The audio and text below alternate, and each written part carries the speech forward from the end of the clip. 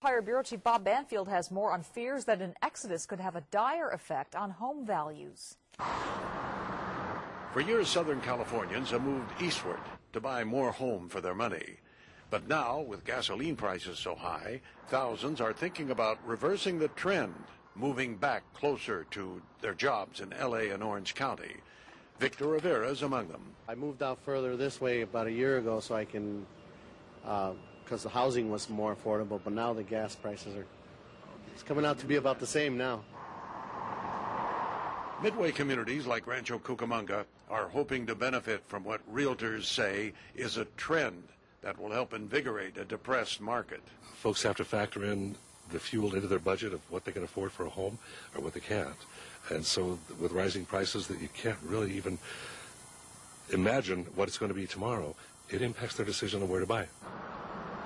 A year ago, long commutes only cost motorists like Rafael Dominguez their time, but that's changed. Commute all the way to Moreno Valley. We uh, have to be filling up on gas like every day. It's pretty bad with all these gas prices that have been going up pretty high.